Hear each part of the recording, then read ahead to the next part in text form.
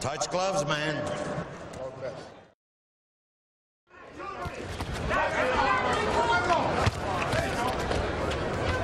For Izon's trainer, Alton Merkerson, you'll see him between rounds. His son played in the Senior Bowl today. Izon on the end of your left jab. Wait a couple of rounds, sneak in a right hand every now and then.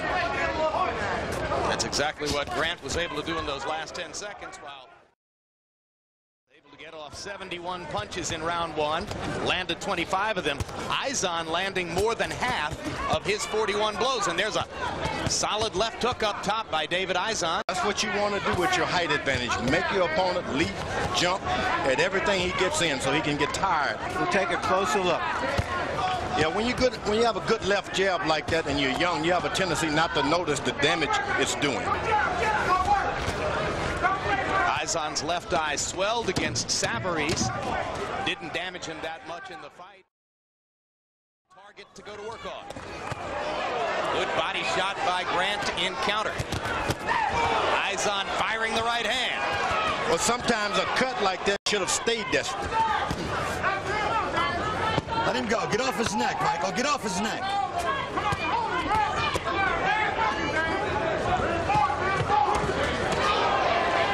Been a weightlifter out there. He's throwing some borderline low punches. Trying to land that right hand uppercut and finish things off with it.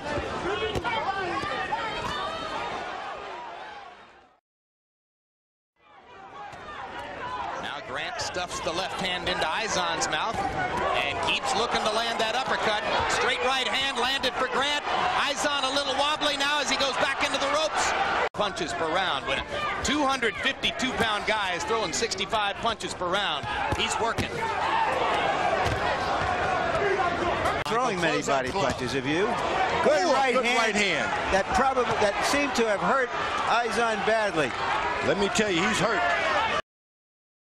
I got to point something out to you. Michael Grant is, is really badly guilty of, of heeling. In other words, he opens up that left glove and he, and he shoves it in, in Izon's face.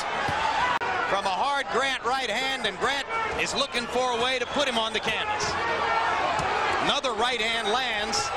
Izon getting out of the way. Grant hits him in the back of the head. Cappuccino pulls him apart That's all. and is going to stop the fight. Uh, taking too many shots, man. Taking too many shots, my buddy. Technical knockout in the fifth round for Michael Grant. One of the things I like about Michael Grant, Jim, is that massive. Here's another look at the final flurry.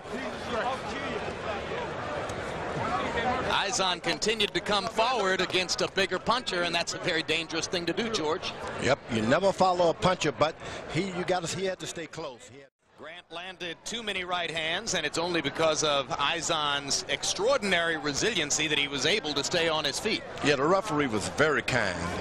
He allowed him to land some good shots to see what see if uh, Izon would recover and throw some punches back. He never did. So what do you do?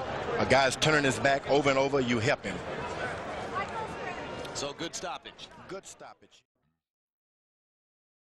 The winner by TKO victory and still the undefeated IBC World Heavyweight Champion, Michael